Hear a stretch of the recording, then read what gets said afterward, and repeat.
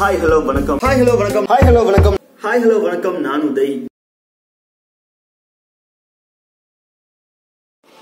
பெங்களூரை போல கோவை மாறுமா?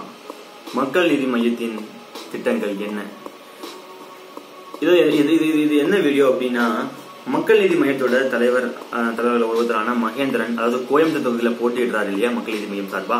அவரு தன்னோட திட்டங்கள் கோயம்புத்தூரை எப்படி மாத்துறேன் அப்படிங்கிற திட்டங்களை சொல்லியிருக்காரு. அந்த வகையில கோயம்புத்தூரை கோவைய பெங்களூர் அளவுக்கு பெரியதாக்கி காமிக்கிறேன்னு சொல்லி என்னோட திட்டங்கள் இருக்கு. ரெண்டாயிரத்தி இருபத்தி நாலு வரைக்குள்ள இப்ப தேர்ந்தெடுக்கப்பட்ட ரெண்டாயிரத்தி இருபத்தி நாலுல முடியும். அதனால அதுக்குள்ள நான் வந்து இந்த கோவையை பெரிய மாநகரமா மாற்றி காமிப்பேன்.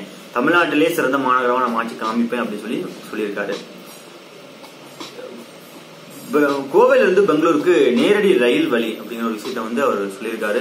அது சாத்தியமா அப்படின்னா என்னடா இது? ஏற்கனவே கோவையில இருந்து அஹ், பெங்களூருக்கு ரயில் இருக்கு விமானம் இருக்கு சாலை வழியாகவும் போறது சூப்பரா சாலைகள்லாம் இருக்கு. அப்படின்னு நீங்க யோசிப்பீங்க எனக்கு புரியுது.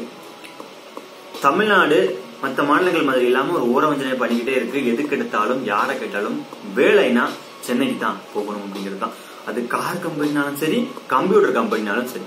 தமிழ்நாட்டுல சென்னைக்கு அடுத்து கோவை மதுரை திருச்சி சேலம் அப்புறம் நெல்லைன்னு இவ்வளவு நகரங்கள் இதை விட அதிகமான நகரங்கள் இன்னும் ஒரு பத்து நகரங்கள் சொல்லலாம். அந்த அளவுக்கு பெரிய நகரங்கள்லாம் இருக்கும்போது ஏன் சென்னையை மட்டும் சென்னைக்கு மட்டுமே இவ்வளவு வசதிகள் இவ்வளவு நிறுவனங்களை கொண்டு வந்துட்டே இருக்காங்க அப்படின்னா அதுக்கு காரணமா அனைவரும் சொல்றது கடல் துறைமுகம்.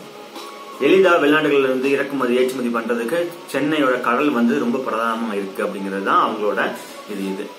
என்னதான் கார் கம்பெனி அதிகமா இருந்தாலும் சென்னையை விட உள்ளூர் துறைகள்ல ஊக்குவிக்கிறது அப்படிங்கிறது கோவை வட்டாரம் தான். துணிகள்ல ஆரம்பிச்சு கல்லு கம்ப்யூட்டர்னு கோவையில நிறைய தொழில்கள் வளர்ந்து வருது.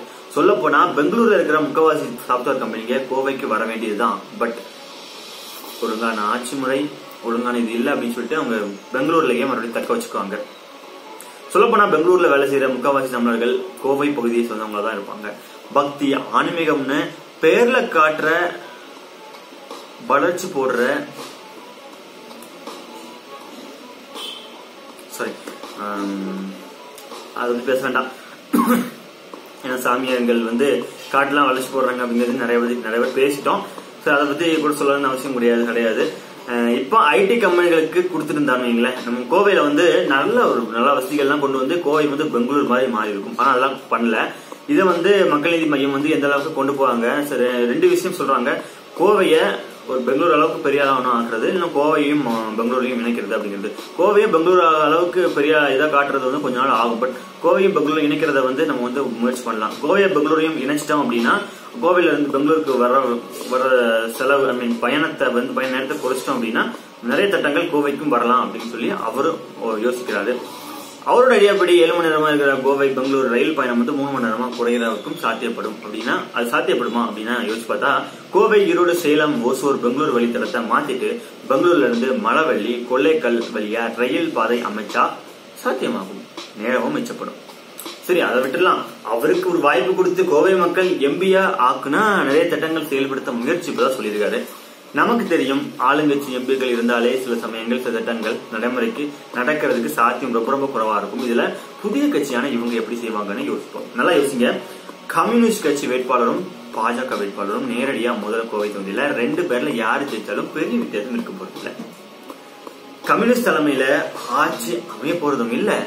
பாஜக வெற்றி இப்ப கேள்விக்குறியாகவும் இருக்கு. அதனால அவங்களுக்கும் வெற்றி கிடைக்க வாய்ப்பு கம்மி குறைவு.